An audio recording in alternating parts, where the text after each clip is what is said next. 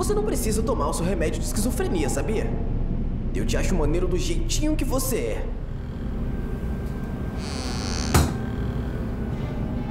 Você devia se matar.